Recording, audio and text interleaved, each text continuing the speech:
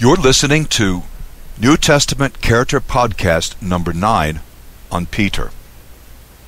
Back in the 1960s, when I was a boy, I remember a news item. Work was going on underneath St. Peter's Basilica, you know, the Vatican, uh, in the area of Rome. And the bones of a male were identified.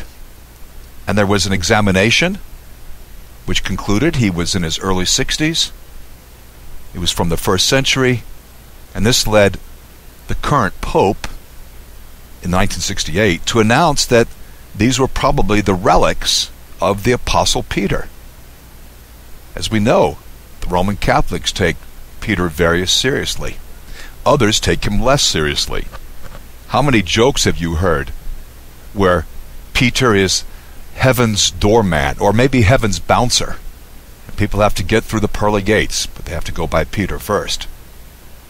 Then others take him less seriously by simply joking about his character. He is impulsivity personified. Well, all of us are acquainted with his character if we've read the New Testament, because the kind of person he was seems to shine through in most of his actions. This impression that he was somewhat impulsive, a footed mouth kind of apostle, is actually very old. In fact, just within a couple hundred years of his life, one of the apocryphal Gospels has a section about Peter. It's the so called Gospel of Mary. And here, Peter is uh, jealous of Mary Magdalene, and he speaks to the other apostles, you know, his fellow disciples, the twelve. He says, Did he really speak privately with a woman and not openly to us? Are we to turn about and all listen to her? Did he prefer her to us? And then in reply to in reply, this is Matthew or Levi, he says, Peter, you have always been hot tempered. Well, whether or not this is a genuine recollection, the Gospels do attest to such a picture of the Apostle Peter. Well, in these New Testament character podcasts, we are covering the apostles, though that's a small part of the whole. We've already had lessons on Paul and Andrew.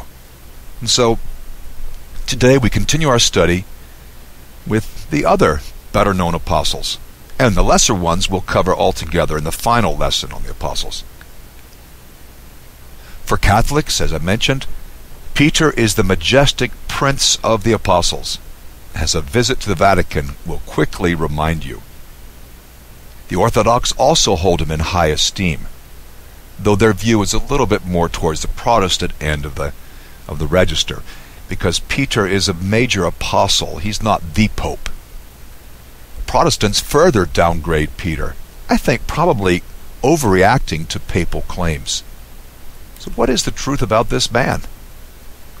Peter is mentioned nearly 180 times in the New Testament. This compares to nearly 300 mentions of Paul, Saul of Tarsus.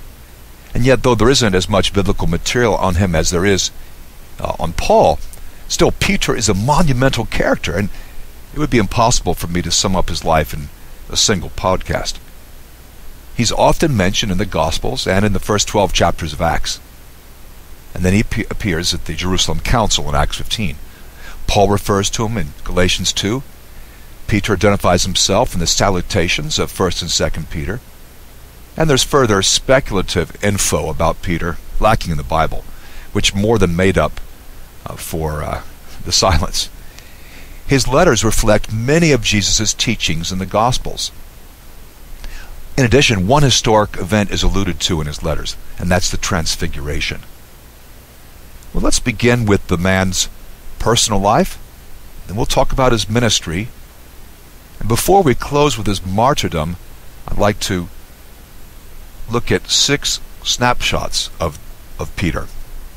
Let's begin with the personal information. His name Petros, English Peter, comes from the Greek word for rock. In Aramaic, he was Kepha, written in Greek as Cephas. John 1.42, 1 Corinthians 1.12, and so forth. Please consult the notes. We might call him Rocky. And since he's the son of Jonah, you know, he's Simon Bar Jonah, a modern equivalent for his name could be something like Rocky Johnson. Peter hailed from Bethsaida, which was also the home of Philip, according to John 1.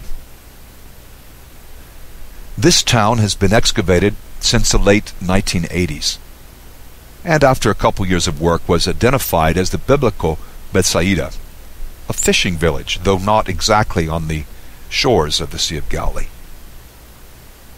Well, what about his house in Capernaum? If you've been to Israel, you've probably been to Capernaum because there's so much to see. And right across from the synagogue where Jesus preached is the house. It's the one with that shrine on top of it. First century home. They call it Peter's house. Oh, maybe it is. It's certainly very old, probably first century. I, I suppose it's possible that he had a home in Capernaum as well. Peter was a simple fisherman. Matthew 4, Mark 1, Acts 4. He was not single. He was married. In Mark 1:29, his mother-in-law is healed by Jesus. If you have a mother-in-law, as I do, then you've had a wife too. In 1 Corinthians 9:5, Paul says that Paul, if he were married, would be able to take his wife with him on his missionary tours, just like Cephas does, just as Peter does. Peter didn't write nearly as much as Paul, at least not that has survived or become part of the Bible. But we are not to necessarily believe that he wrote every word of 1st and 2nd Peter. Because like most ancient writers, Peter employed the services of a scribe, a secretary, and even someone like Paul has men like Tertius who write down his letters for him. 1 Peter 5:11 says that Silas or Silvanus had written the letter of 1 Peter. Now, who assisted Peter with the second letter? We have no idea. None at all. But I think he probably used someone. Well, let's talk about the ministry of Peter. He's introduced to Jesus when his brother Andrew approaches him. We have found the Messiah. And Peter is quick to follow the Lord.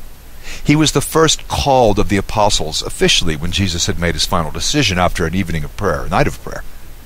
And this appointment is recorded in Matthew 10, Mark 3, Luke 6. And then we see three phases in his ministry. Phase 1, training with the 12, Matthew 4 to Acts 1. This is between the years 27 and 30 AD, during the period of Jesus' earthly life and public ministry. Phase 2, are 12 years of church ministry, Acts 2 to 12, or from 30 to 42 AD. Phase 3, um, his later ministry. For example, Acts 15, his letters, and the later traditions. This would be from probably 49 to 64 AD or so.